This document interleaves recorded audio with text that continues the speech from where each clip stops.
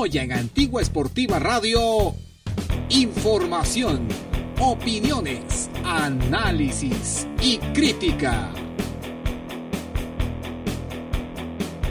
Toca y toca la pelota.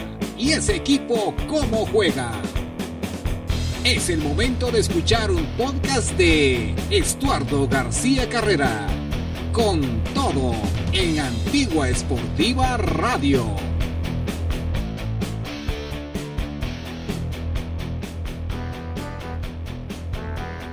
Hola, hola, hola amigos, ¿qué tal? ¿Qué tal? Qué gusto saludarles. Estamos felices porque hay información y la información está aquí en Antigua Esportiva. Y lo que más nos gusta es compartir con ustedes opiniones acerca de lo que sucede principalmente con el equipo Antigua GFC. Y hoy, pues una noticia que agarró por sorpresa a todo mundo el hecho de que el técnico nacional Dwight Anthony Pesarosi ya no sigue en la dirección técnica del equipo aguacatero. Vamos entonces, por cortesía del Instituto de Formación Secretarial, donde formamos mujeres de éxito, y también por cortesía de Printal, lo mejor en sublimación en categoría inferior, o sea, en unidades, en docenas, en decenas, o sea, todo más barato. Ya decíamos que los amigos de em, Printal te ofrecen en baja denominación, esa es la palabra correcta, pues eh, promocionales, tazas, eh, mousepad, eh, cualquier cosa que se te ocurra hacer, pues los de Printal te lo sacan y si quieres solamente dos, si quieres solo cinco, si quieres diez, quieres una docena completa, quieres media docena, dos docenas, cincuenta, pues ahí está fácil y muy económico. Printal, lo mejor en sublimación para promocionales. Bien, el equipo Antigua GFC no clasifica a la gran final. Y pues está a la espera de lo que puedan hacer los rojos contra Misco. Si son campeones, Antigua iría a torneo internacional. Pero miren ustedes lo que nos sorprende hoy. Primero, pues las contrataciones muy buenas que se están generando para Antigua. En el caso del Chepito Espinosa, que yo pensé que se iba a decantar por el equipo de Municipal. Y ya ven ustedes que termina siendo contratado por Antigua Guatemala, según los chismes, según las malas lenguas, según eh, nuestra fuente. Anoche se firmó el contrato. Y por el otro lado, el tema de Dieter Lang, que para mi criterio desde hace rato lo había mencionado yo, que pues me hubiese gustado, me gustaría o me, o me gusta la idea de que sea contratado por el equipo de Antigua Guatemala. Y pues creo que se va a dar el tema con este jugador de muy buen nivel. Se habla de otros jugadores importantes y se refuerza un equipo con juventud, con eh, actitud, etcétera. No sé realmente, al final de cuentas, cómo van a acomodar a estos jugadores. Porque con el cambio de técnico, un técnico que se enfoca mucho en lo que tiene en el cuadro, con, lo, con los jóvenes inclusive, con lo que le van generando, pero principalmente con esas fuerzas básicas, Dwight Anthony Pesarosi al dejar de ser el técnico titular, ojalá que se quede como, como segundo técnico. O sea, ojalá que, que no se vaya a ir porque él es parte de este proceso, es parte de esa idea futbolística que tiene el equipo aguacatero. Y aunque perdió la clasificación, en 16 partidos, la estadística de Dwight Anthony Pesarosi no es nada mala. En 16 partidos perdió solo dos, partidos. No es mala. Es una, es una muy buena racha. Yo no sé qué pasó. O más bien, saco mis propias conjeturas.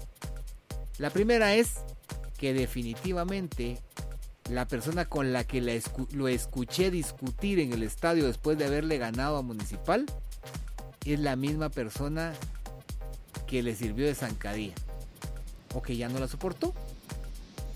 Eso es lo que yo considero que pasó con Dwight Anthony Pesarosi. Creo de que eh, optó por, por dejar a un lado al equipo debido a la presión de esta persona y esas circunstancias generaron el descontento y el decir, bueno, órale pues, me voy. Ustedes quieren que ya no siga, ustedes me están exigiendo cosas, me están proponiendo cosas, me están exigiendo, me están em, poniendo jugadores y, y yo tengo que, soy el técnico pues. No sé, no sé qué pudieron haberse dicho, pero yo me imagino esta plática. Lo cierto es que piensa mal y acertarás, dice un dicho. El tema es que el técnico aguacatero que venga tiene que conocer el fútbol guatemalteco, tiene que conocer a los jugadores. Empezar de nuevo es un grave error. Es como cuando, como cuando usted cambiaba de novia o de novio, o de esposo, o de esposa. Empezar de nuevo, empezar a ver malas costumbres, malos olores, eh, llegadas tarde o, discusiones diferentes, celos, yo qué sé, cosas diferentes que ya yo ya conocía de la otra persona. Y pasa en todos lados. Entonces, esto que está sucediendo con el equipo Antigua es una, perdón señores de la directiva, es una irresponsabilidad.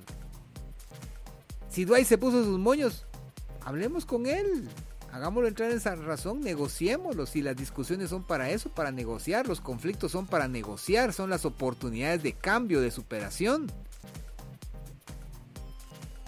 Miren que los cambios de técnico no han sido buenos para el equipo. Empezar de nuevo es empezar con fracaso tras fracaso hasta que van agarrando ritmo.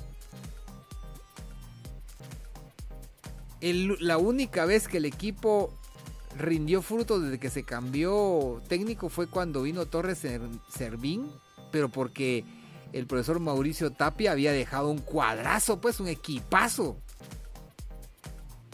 Y los había dejado campeones prácticamente tres veces. Y vean ustedes que quien le salva el, torneo a, Toño Torres Servín fue eh, Roberto Montoya. Esa es la verdad. El que sabía dirigir era Montoya. Con el perdón del profesor Torres. No, no soportó el tema aquí en la Antigua. Entonces, eso, eso es lo que sucede realmente cuando se cambia técnico. Que no les gusta, que miren, si el técnico tiene buen carácter, si el, el técnico sabe escuchar, sabe hacerles caso, pues entonces hay que dejarlo trabajar nada más irle dando directrices, que los gerentes deportivos o los directores deportivos tengan comunicación con él para saber cuáles son sus requerimientos y sus necesidades. Esto viene siendo como que un médico eh, es contratado en un hospital donde tienen una filosofía X con respecto a la salud. Médico se va a tener que adaptar a esa filosofía de salud, ¿verdad? técnicas, procedimientos, costumbres, etc. Y entonces el médico empieza a trabajar como, como ellos dicen. Y que de repente, mire, no use bisturí, use machete. vamos a usar machete, pues. Entonces, solo que lo tiene que afilar bien. ¿Y que si se muere el paciente? Ah, mire, usted no, no usó el machete como yo le dije, pues. Entonces, entonces se va. Y de repente había salvado 16 vidas y de las 16 vidas solo dos se le murieron porque no usó bien el machete y entonces lo despedimos. Eso está pasando con Pesarosi. ¿Por qué salimos a la defensa de Pesarosi? Hemos salido a la defensa de todos los cambios que hace Antigua inmediatamente que los resultados no se dan. Cuando se fue el profesor em, Mauricio Tapia, de repente su ciclo ya había terminado. de acuerdo pero eh, era un técnico ganador. Solo tenés que ponerte de acuerdo con él. ¿Cuántos equipos a nivel mundial han tenido a sus técnicos durante años? Porque ellos ya son los que manejan la filosofía perfectamente. Empezás a dar frutos, tu árbol empieza a dar frutos, no lo vas a botar y vas a sembrar un nuevo árbol, un nuevo árbol. ¿Cuándo vas a, empezar a cosechar de nuevo? Es el mismo problema que se va a dar en este momento. Y entonces, ¿qué es lo que se busca? Títulos. No, hombre. No, hombre, así no son las cosas.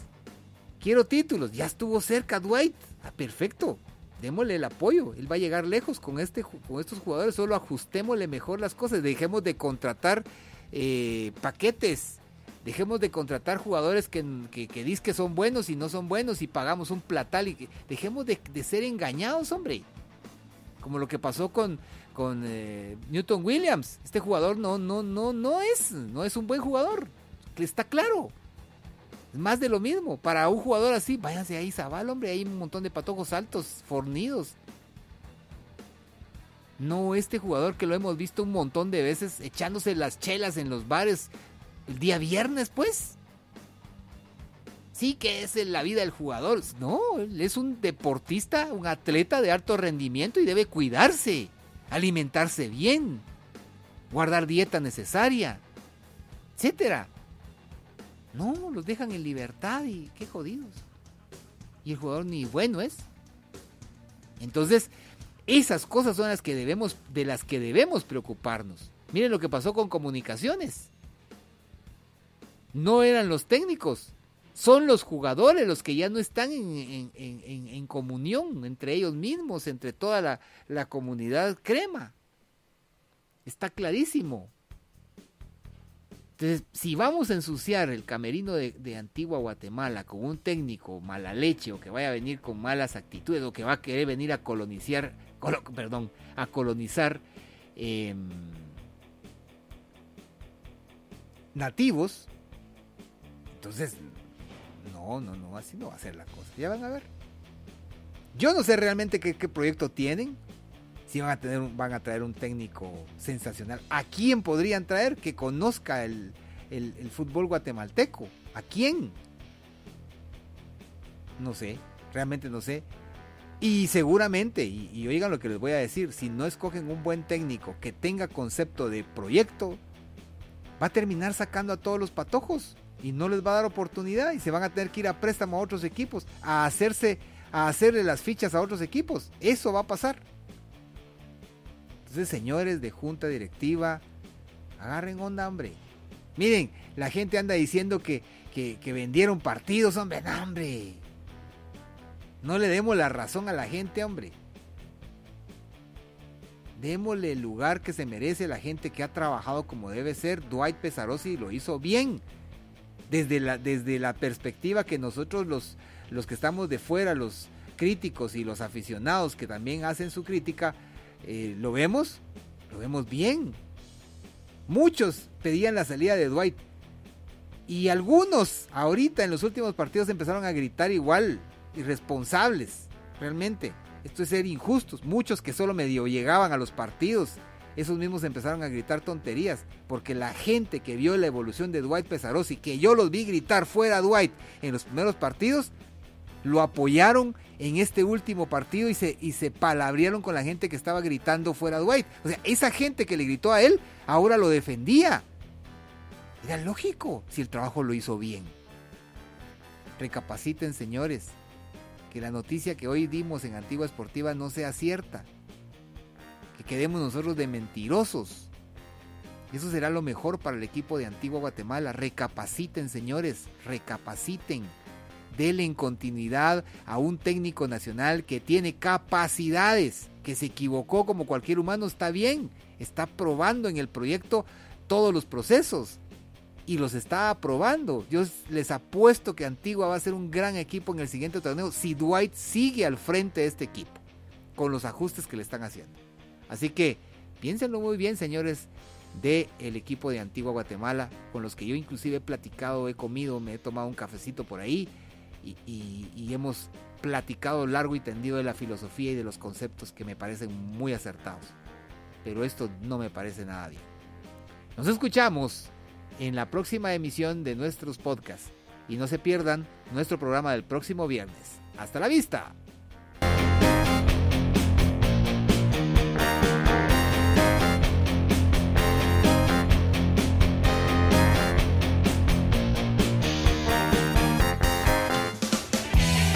Estos fueron 15 minutos de puro análisis por Antigua Esportiva Radio.